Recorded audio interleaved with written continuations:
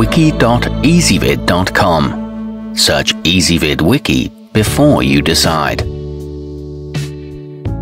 Ezvid presents the 10 best 10 gigabit network cards. Let's get started with the list. Starting off our list at number 10, geared toward low profile cases as well as the company's specialized drive arrays. The QNAP QXG takes up very little space and comes with a pre-installed half-height bracket.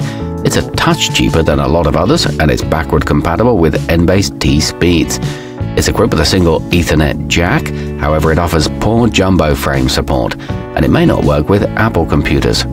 At number 9, if you need two concurrent connections, the 10Gtek X520DA2 is a reliable and effective way to get them, thanks to dual SFP Plus availability.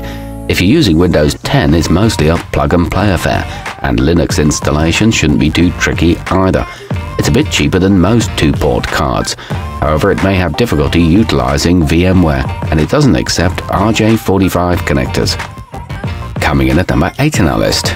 If all you're aiming for is high transfer rates between two local PCs, you likely can't do better than the Mellanox Connect X, a two-unit pair that comes at a nearly unbeatable price. Most users find it easy to install, though its warranty only lasts for 90 days. It uses the PCIe 2 bus, however its response times are subpar and it only has an SFP Plus port. Our newest choices can only be seen at wiki.ezvid.com. Go there now and search for 10 gigabit network cards, or simply click beneath this video.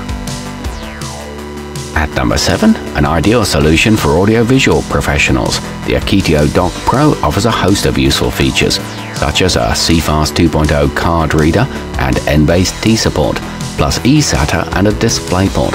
Dual Thunderbolt 3 ports allow for plug-and-play operation even when you're on the go.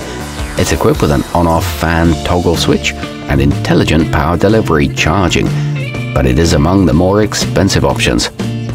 Moving up our list to number 6. Quite different from most, the QNAP QM2 2P10 contains dual NVMe SSD ports in addition to its LAN capabilities. While you could use it to upgrade an older PC's storage and Ethernet in one fell swoop, it's designed to act as an all-in-one server cache layer. It comes with a large copper heatsink and a relatively low noise cooling fan.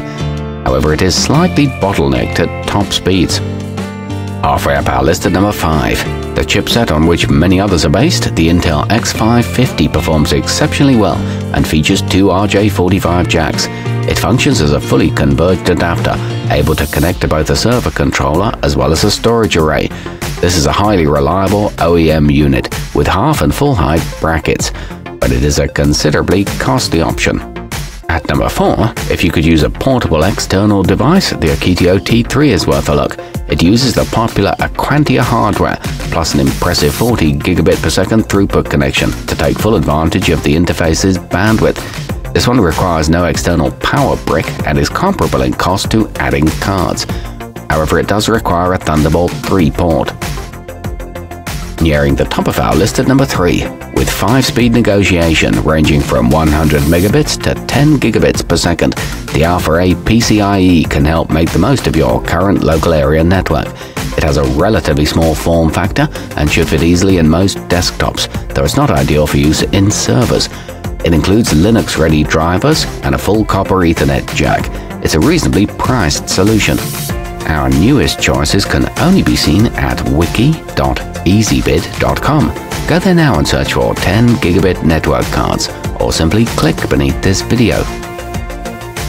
At number 2, if you intend to future-proof your current PC, consider the Aquantia AQtion, which uses a similar chipset to those integrated within the newest high-performance motherboards. Crafted with gamers in mind, it delivers exceptionally low ping and response times. It features PCI Express version 3 and a good price to performance ratio. It works with most operating systems. And taking the top spot on our list, from a company quite experienced in commercial connectivity, the Synology E10G18 is a feature-packed and highly reliable full copper option that's available with one or two ports. The latter of these supports link aggregation as well as jumbo frame packet sizes. It boasts an excellent response time and is available in a mini or full-size PCIe format. It works with flexible NBASE-T. Our newest choices can only be seen at wiki.ezvid.com. Go there now and search for 10 gigabit network cards or simply click beneath this video.